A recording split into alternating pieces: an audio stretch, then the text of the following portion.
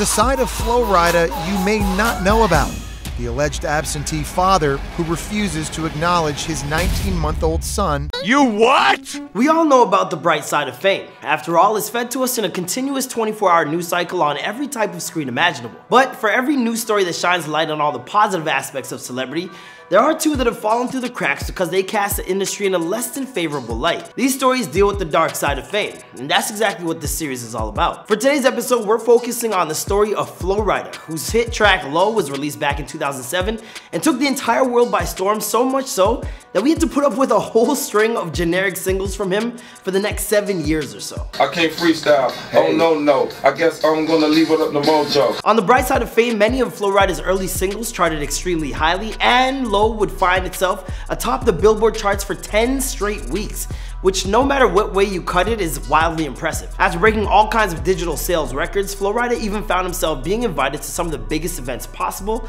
like performing at WrestleMania in his home state of Florida. No, not Florida. Flo, Florida.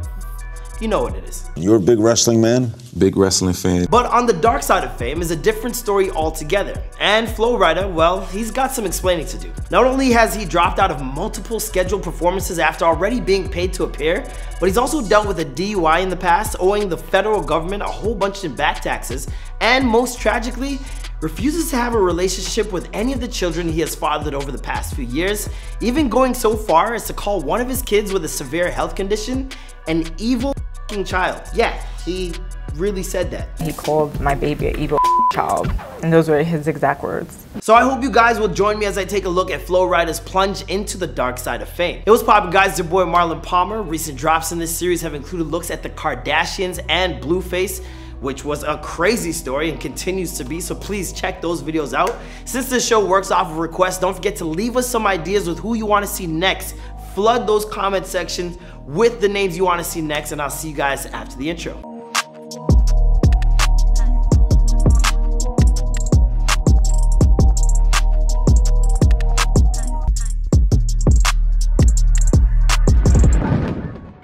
First sign that Flo Rida might not be the man we all thought he was happened back in 2011 when he failed to appear at a music festival in Australia despite the fact that he had already been paid his $55,000 fee to do so. When the Aussie company that paid him couldn't track him down to serve him with a lawsuit for breach of contract, they posted a link to the Australian court's documents on Flo Rida's Facebook page.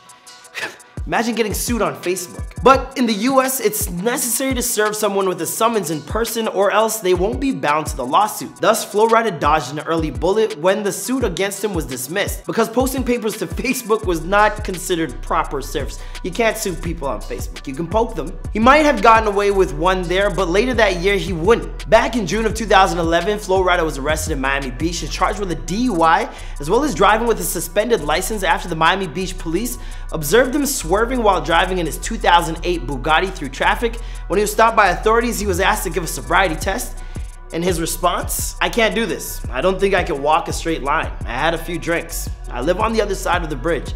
I can make it home. A spokesperson for the Miami police would later reveal that Flo's blood alcohol level was a 0.185, which is over twice the legal limit in Florida. As the police were arresting Flo, apparently a large crowd of bystanders gathered and tried to convince the cops to let him go, with some even offering to drive the rapper home themselves. But the police weren't having it. Flo Rida got booked. Flo was put behind bars for a short period of time and his bail was set at $2,000. Eventually, Flo Rida would enter into a plea deal for first-time offenders and enter a program known as Back on Track, where he performed community service and took DUI classes. But Flo Rida wasn't quite out of trouble with authority figures yet, because as it turns out, around this time, Flo also owed nearly $2 million in back taxes from his earnings from 2009 to 2011.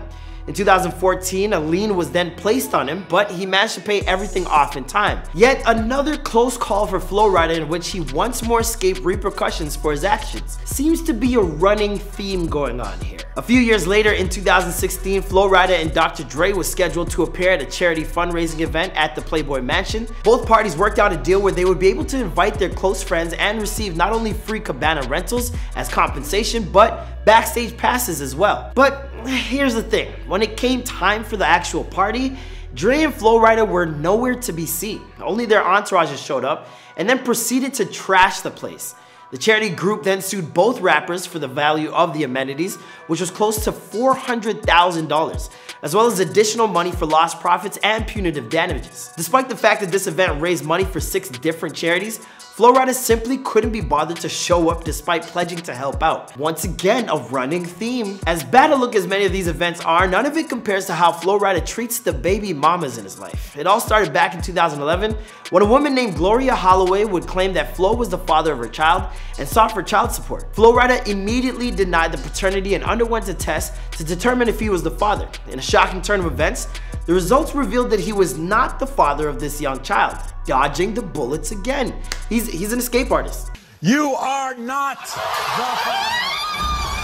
Flo Rida then used these results by filing them with the Florida Department of Revenue to block Holloway from ever obtaining child support against him. Man, nothing seems to stick to this guy. But then only a couple years later, yet another woman came forward. This time it was Natasha Williams, who claimed to have sex with Flo Rida in nearly every city across the country. That's that's damn impressive, even on tour. Flo never disputed hooking up with this smoke show, but he remained unconvinced that he was her only partner, even asking her to get an abortion when she first told him about the news. Listen, if someone's having sex with you in literally every city in the United States, I don't think they have time, fam. To compound matters further, Natasha was seeking good fortune support, which is a special kind of child support, in Florida for rich people's kids. Once more, a paternity test was ordered, but this time Flo finally came out on the wrong side of things.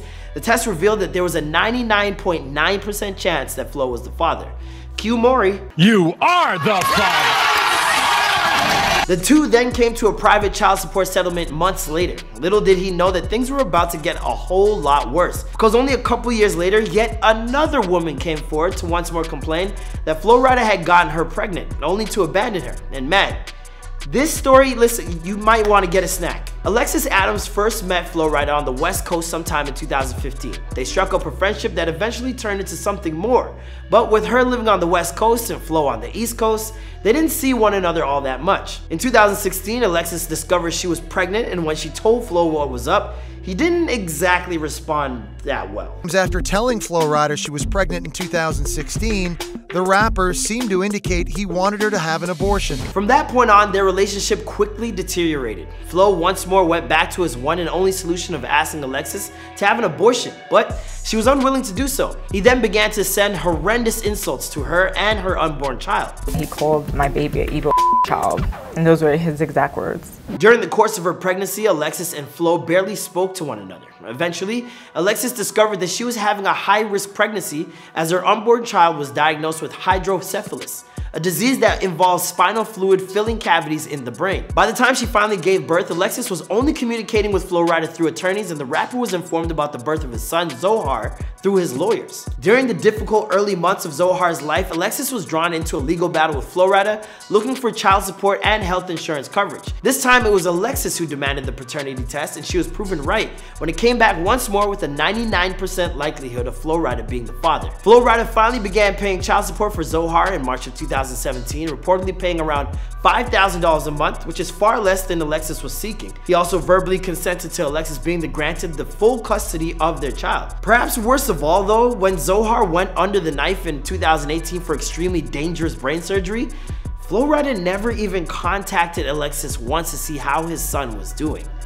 Jeez.